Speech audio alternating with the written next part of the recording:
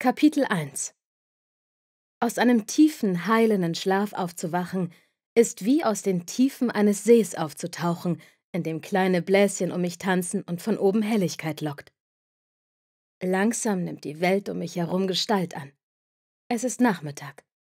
Die Luft duftet nach heller Sonne, heißem Stein und endlosen Tagen der Sommerdürre.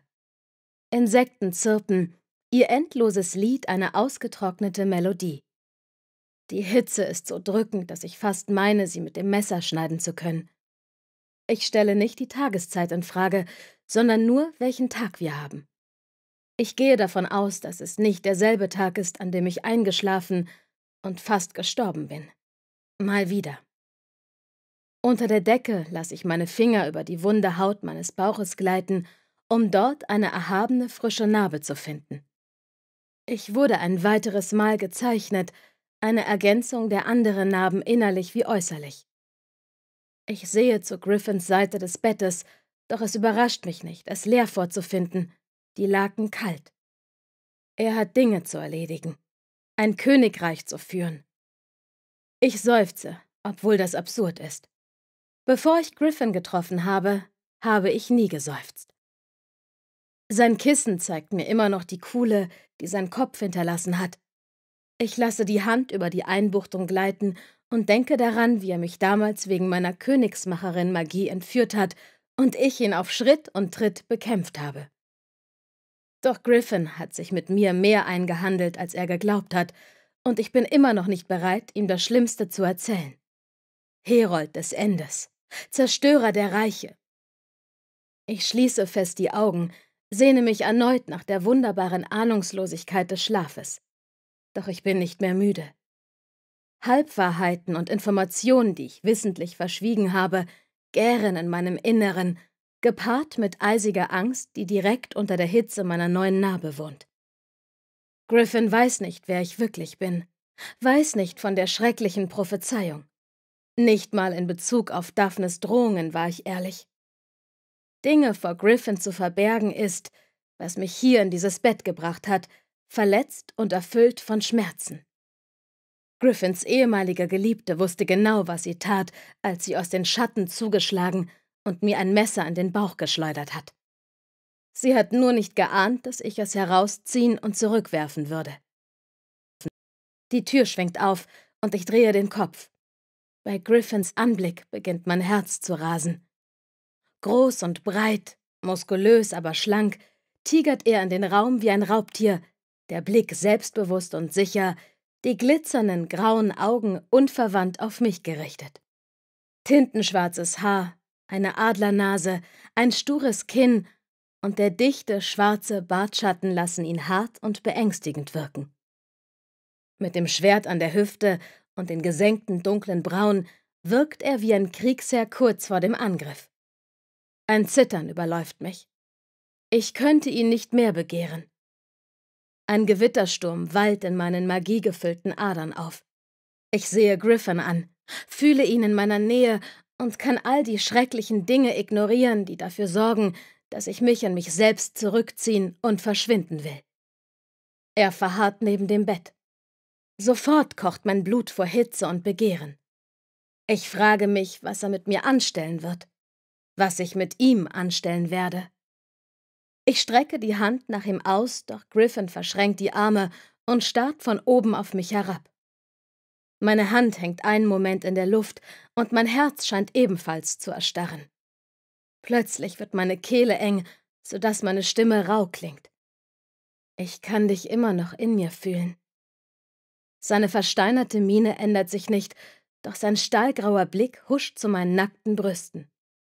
Als er die Augen wieder hebt, wirken sie hart und kalt wie Granit, der mit Eis überzogen ist. Hast du es genossen, mich lächerlich zu machen? Mein Magen verkrampft sich so heftig, dass mir schlecht wird. Ich ziehe die Decke nach oben, um mich zu verhüllen, umklammere fest den Stoff, um zu verhindern, dass meine Hände zittern. Es funktioniert nicht.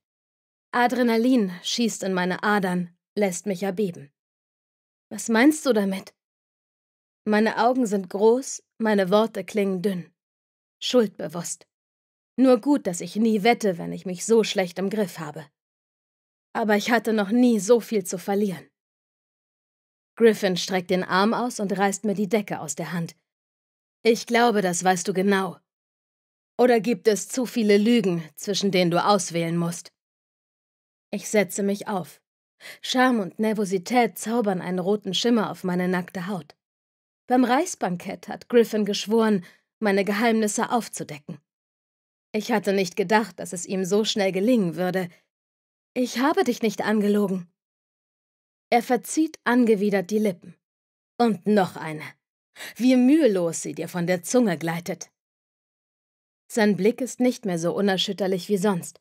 Stattdessen tobt ein Sturm in seinen Augen.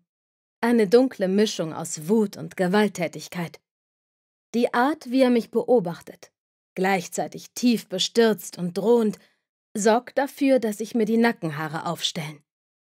Vorsichtig greife ich nach der Decke, doch er packt den Stoff so fest, dass die Knöchel weiß hervortreten.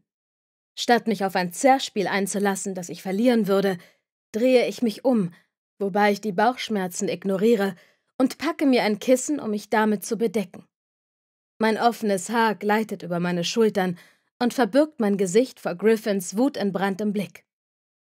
Könnte sein, dass ich ein paar Details ausgelassen habe, gebe ich zu, als ich mich wieder umdrehe. Wirklich wichtige Details. Aber ich habe dir die Wahrheit gesagt. In seinen Augen flackert das Versprechen auf Bestrafung auf. Noch nie zuvor war dieser Blick gegen mich gerichtet.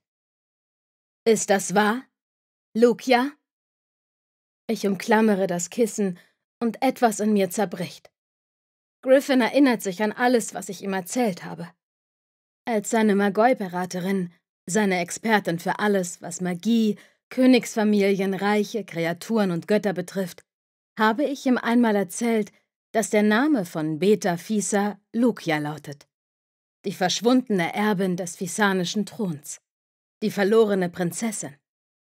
Ihr Name lautet nicht Lukia. Und irgendwoher weiß Griffin das jetzt. Er weiß, dass ich es bin. Taubheit breitet sich in meinem Körper aus und verdrängt die Übelkeit. Gleichzeitig wird mir bewusst, dass sich der Raum um mich dreht. Du bist gut und gerecht und fair, sage ich heiser. Ihn anzuschauen ist wie eine Luftspiegelung zu sehen. In einem Moment hier der Inbegriff von allem, was ich mir jemals gewünscht habe. Und schon nach einem Wimpernschlag verschwunden. Harsch fragt er, Und was bist du? Die Frage reißt eine kaum verheilte Wunde in mir auf. Die Antwort tut weh. Ich bin eine Mörderin. Brudermord? Kein Problem. Zweimal. Unschuldige Leute an eine böse Königin ausliefern, in dem Wissen, dass sie nicht überleben werden? Schon gemacht. Fisa, das fisanische Volk, den Launen einer bösartigen Soziopathin überlassen, weil ich zu viel Angst hatte, um zu bleiben? Ja, auch das habe ich getan. Galle steigt mir in die Kehle und ich schlucke schwer. Eine Lügnerin, eine Killerin und ein Feigling. Griffin erstarrt, scheint sich in eine Statue zu verwandeln. Ich zittere innerlich. Bevor ich auch nur mitbekomme, dass er sich bewegt hat, hat er mir schon das Kissen entrissen und quer durch den Raum geschleudert. Es stößt eine Vase um. Das bemalte Gefäß zerbricht und verteilt scharfe Scherben auf dem Boden. Ich zerbreche ebenfalls, die Person, die ich war, zerspringt genauso in Scherben wie die zerbrochene Vase. Diese Frau hatte von Beginn an nur eine dürftige Verbindung zu meinem Herzen und meinem Geist. Jetzt wirbeln meine neuen, dämlichen Hoffnungen in einem Strudel aus Scham um mich herum. Was tust du? flüstere ich. Meine Augen brennen. Du gibst nicht preis, was sich in deinem Inneren befindet, stößt er hervor. Griffin starrt mich an, doch in seinen Augen ist kein Verlangen zu erkennen. Nur lodernde Enttäuschung. Noch nie in meinem Leben habe ich mich so verletzlich gefühlt. Ich fühle mich nicht nur nackt, ich fühle mich, als hätte er mir die Haut abgezogen. Also willst du dir wenigstens das Äußere ansehen? frage ich. Er bläht die Nasenlöcher auf. Nach einem tiefen Atemzug wirft er mir die Decke zu. Verhülle dich.